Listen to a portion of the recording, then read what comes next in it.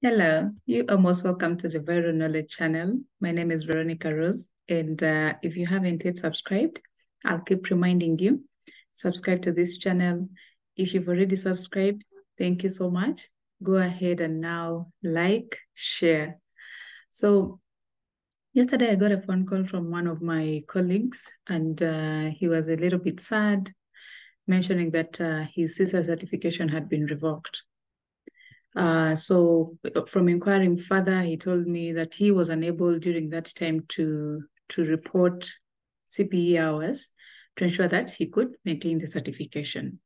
And uh, from that, I thought of uh, recording a video on um, how to report your, how to maintain your CISA certification and also how to how to report your CPE hours.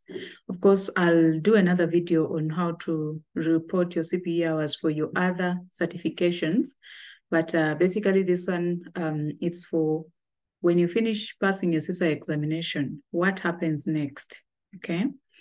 Um, of course, you prepare, preparing for a certification takes a lot of time, takes a lot of energy, effort, you know, sacrifices of other things for you to, to ensure that you pass this exam.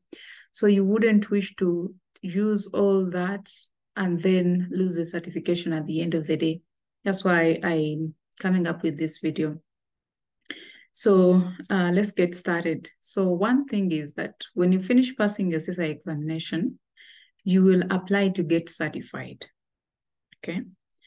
Uh, reason being that uh, you passing an CISA certification doesn't mean that you are already now CISA certified. You have to apply for certification first so that they see that you meet the criteria for being a CISA. Um, I'll also record another video related to um, what you need to qualify to be a CISA. So you've passed your CISA exam, you've uh, applied for uh, for CISA certification. So what happens next is that uh, you will get certified after they have validated your years of experience and, and you've met the criteria needed for you to have the CISA designation. So the next thing is that you'll need to be reporting your CPE hours. So CPE stands for Continuous uh, Professional Education, where you'll be required to adhere to the Professional Code of Ethics. So CISA holders need to agree to the Professional Code of Ethics, uh, first of all, to guide them and their professional and uh, uh, sorry, personal and professional conduct. So adhering to the CPE program, the continuous professional education means that you'll be you'll be doing activities or be involved in activities that will enable you maintain your certification. Okay. I hope we are still together up there. So for you to maintain your CISA certification, uh, you you need to be reporting a minimum of 20 CPE hours annually. And uh, on top of that, you'll be paying a maintenance fee for your certification. I hope we are still together up to there. So there are ways on how you will be earning CPE hours. There are quite a number of ways. Uh, and if you can go to the ISACA website, you'll, you'll be able to see uh, ways on how to earn your CPE hours. Uh, one way on how to earn CPE hours is um, continuous education. You can attend ISACA events. You can uh, attend an ISACA training that qualifies for that attend webinars out there, uh, contribute as a volunteer to earn You can also check on the ISACA web website on how to be an ISACA volunteer. So on all those activities, you'll be able to report CPE hours. You can speak at an event. Uh, so dependent on the event organizers, they determine which CPE hours you, you get. You attend a chapter event, you can earn uh, maybe one CPE hour or 35 CPE hours, and then remember to report them. So the CPE uh, management um, uh, process is a little bit bigger. I think I'll have to make several videos on uh, how to manage your CPE hours, how to report them, and also ways on how to um, report your CPE hours. But this applies also other certifications. If you have any other ISACA certification, remember for you to maintain that certification, you'll have to be engaged in these activities, you know, continuous learning, continuous training, writing an article, volunteering, um, uh, engaging with other professionals, uh, serving on a chapter committee, serving on a chapter board, all that those are all ways of how you can earn your CPE hours. And when you earn them, remember to report them on the on your ISACA portal.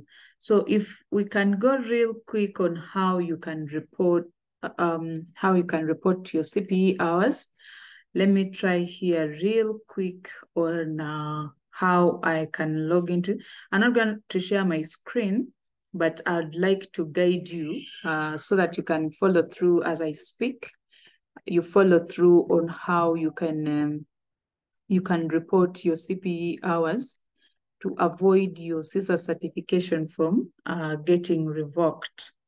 So I've logged into my ISACA um, account. Uh, so if you're an ISACA member or a certification holder, you have an account already. So you can go to my ISACA account and then check um, go to, yeah, when the dashboard displays, you'll see uh, certifications and CPE management.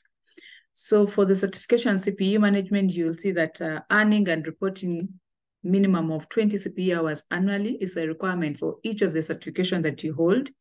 And then uh, you will need 120 CPE hours in a span of three years for you to qualify.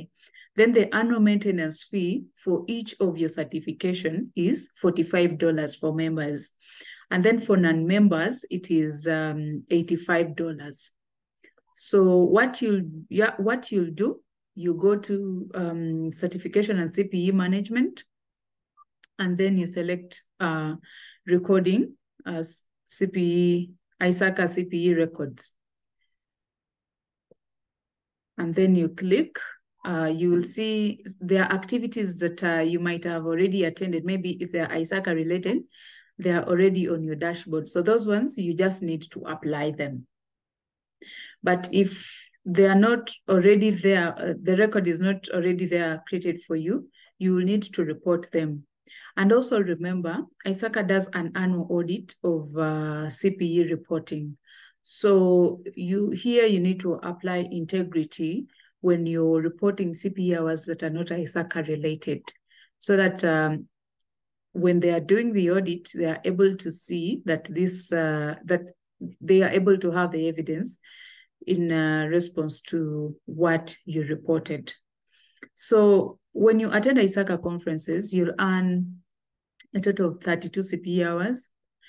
If you attend uh, maybe a training, you may earn 32 CPE hours.